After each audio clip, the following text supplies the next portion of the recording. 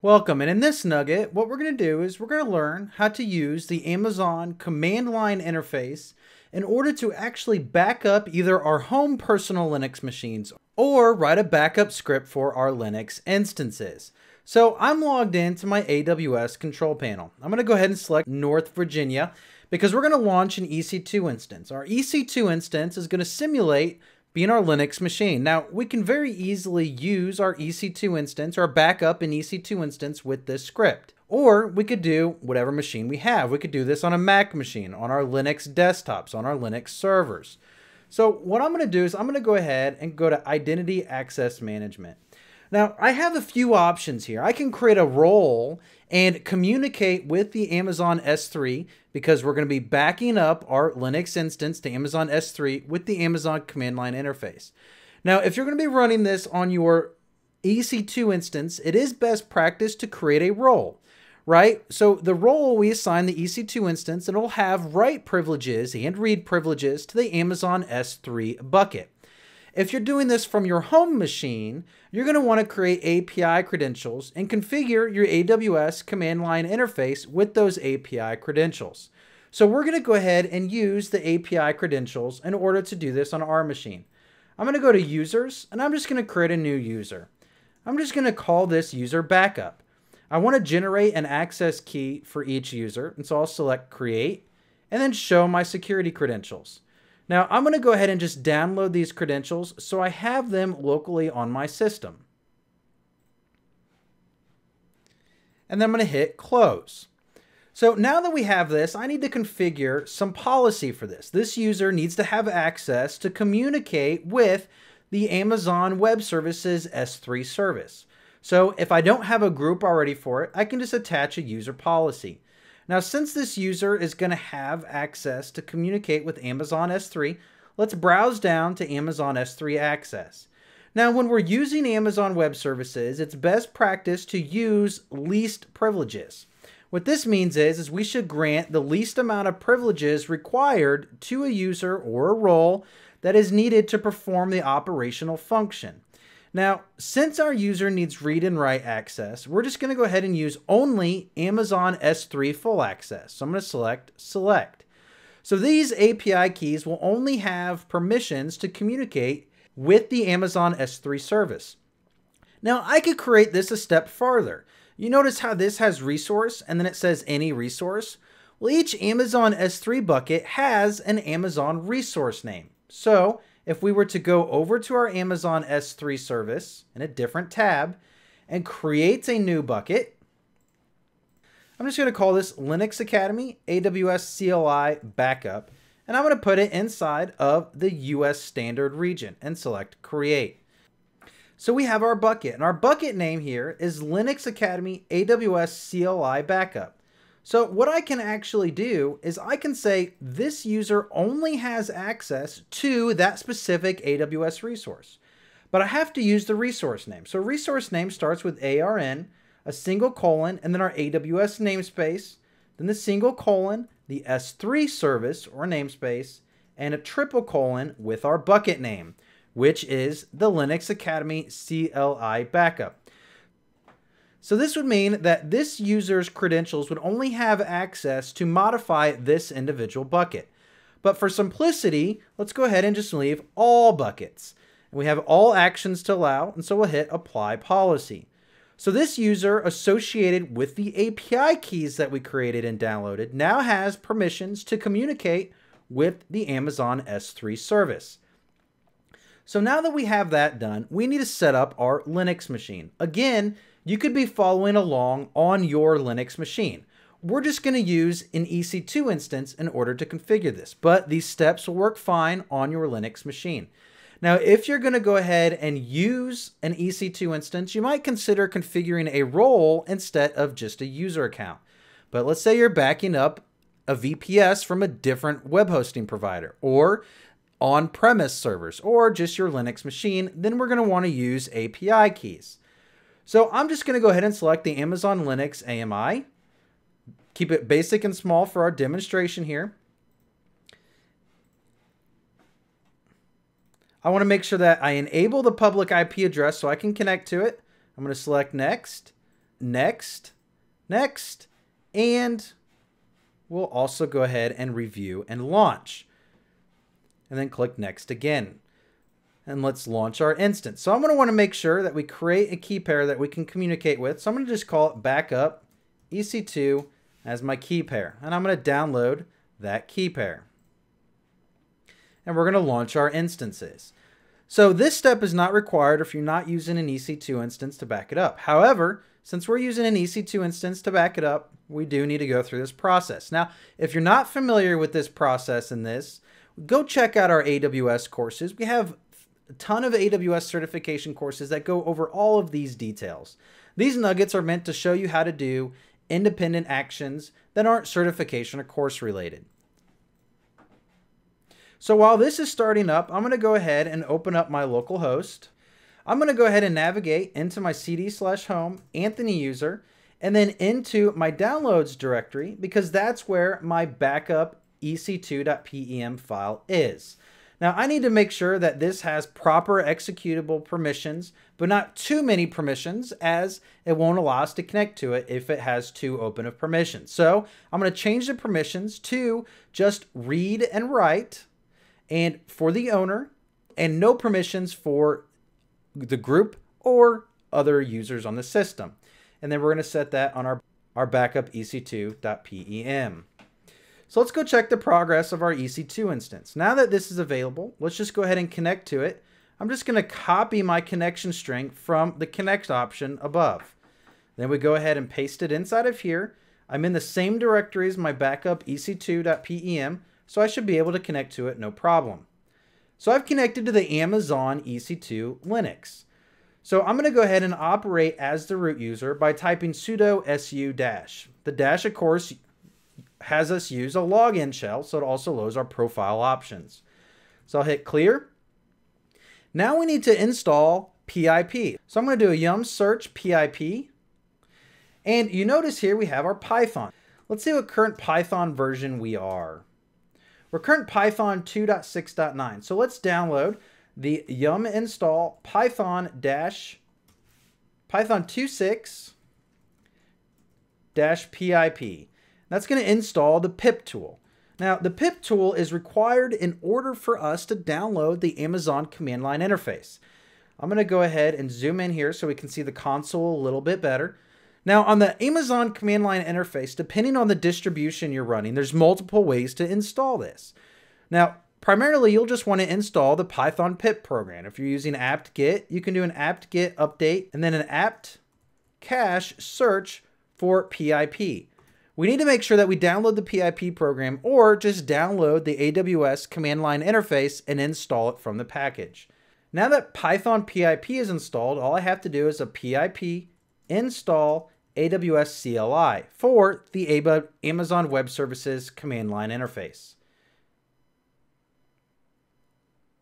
So we notice that it's been successfully installed. So now that it's installed, I can just type AWS configure and I can configure my command line interface to communicate with Amazon S3. So this takes us back to when we generated or created our user API keys from the IAM console. So first we had our access key ID. That access key ID, let's go ahead and just open up a browser here.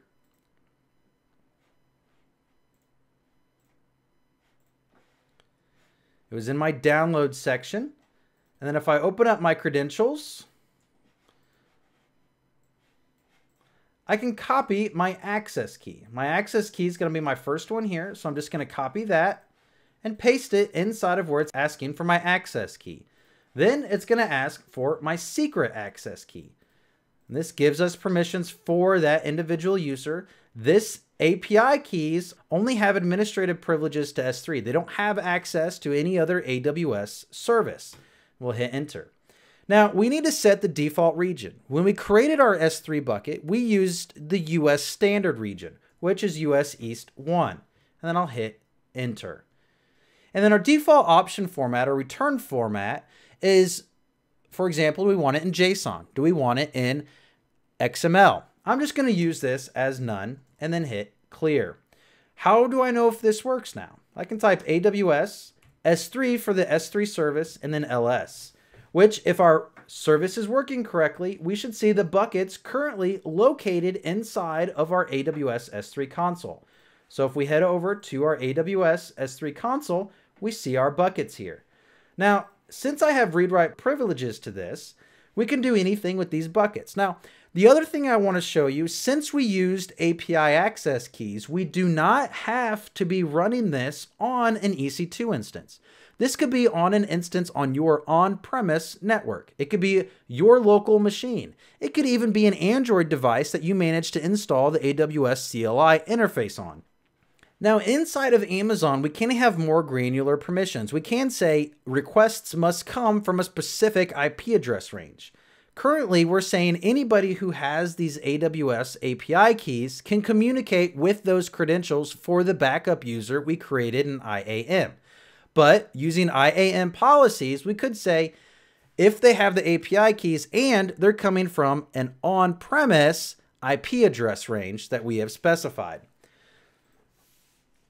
So now that we have this, how do we create our backup? We're going to create an automated backup using cron. You can use anacron so that it automatically backs up every n number of days, for example, five days, rather than backing up during a time period like crontab does. So first, we need to be aware of how the command works. So we can use regular Linux commands like find. We can find specific files on our root file system, maybe ones that have a name that end with MP3. Then once we have that, we can uh, perform the exec command and then copy those files over to our AWS backup as a backup. Or we could back up just directories. In this case, I'm going to back up my entire var slash log directory, everything located inside of here. So in order to do this, let's just first test our command. Do I want to back it up or do I want to sync changes? Now, in this case, I don't want to apply changes from S3 if they've been updated to my EC2 instance. I only want to copy the changes here to Amazon S3. So I have two ways of doing this. I can use AWS S3 Sync, which is going to only sync the files that have changed, but it works two ways. If somebody's modified data inside of your S3 bucket, it'll sync it back to your EC2 instance. But nobody else should have access to that S3 bucket. So we're probably going to use sync so that way we're not copying the data every time unless the data has changed. But let's go ahead and take a look at AWS S3 help. If we browse to the bottom, we see that we have the option for copy, move, remove, or sync. So we're just going to sync. I'm just going to very simply type AWS S3 because I'm calling the S3 program of the AWS command line interface. Then I want to sync everything in slash var slash log to S3 colon Linux Academy dash AWS CLI dash backup. I want to sync it to that location and I'll hit enter. So it says that it successfully synced all of the changes. If we head over to our S3 console, or actually let's continue using the command line interface. I'll type AWS S3LS. And I want to list the contents inside of my Linux Academy AWS CLI backup bucket. So if you notice, we now have all of the log files that are inside of our local machine inside of the S3 bucket. And again, I can view them in the console for visual aspect as well. Here they are. So how do we automate this? Let's go ahead and navigate up to our sync command and copy it. We have two options. First, we're going to go into the etc directory. We can either use cron to automate this or anacron. Now, if you're running this on your local machine, I want you to consider anacron. One of the limitations of cron is, is that it will execute a command at a given time period only if your machine is running. So if your machine is not running, say we schedule it to execute the backup the first day of every month, and the machine is turned off on that first day, it's not going to back up until the following month. It completely misses its backup window of opportunity. So one might be another way to ensure that even if our machine is turned off, that our machine is backed up or servers backed up every five days or every 30 days. Well, that alternative is Anacron. Anacron will execute the job, the backup, every n number of days. So inside of my etc directory, and you have to make sure you're the root user because Anacron only works with the root user. You'll do a vi anacrontab, and then hit enter in the etc directory. So first it says how many days do we need to run this backup? Anacron is run once a day. So how and how many days do we want to back this up? So I want to back this up every five days. Now, how many minutes do I want to wait before the job starts? We can just say five. It can be zero. It could be 30. It just says after we call the job, wait that number of minutes before the job starts. Then let's go ahead and give this job a job identifier. I'm going to call it backup script to AWS. Then what's the command that we want this to execute? I'll go ahead and paste in our AWS S3 sync from our backing up the var slash log to the S3 directory. And then let's go ahead and save and exit. Now what's going to happen is, is Anacron, next time it runs, it's going to say, hey, has this job been executed in the past five days? And it knows that because it looks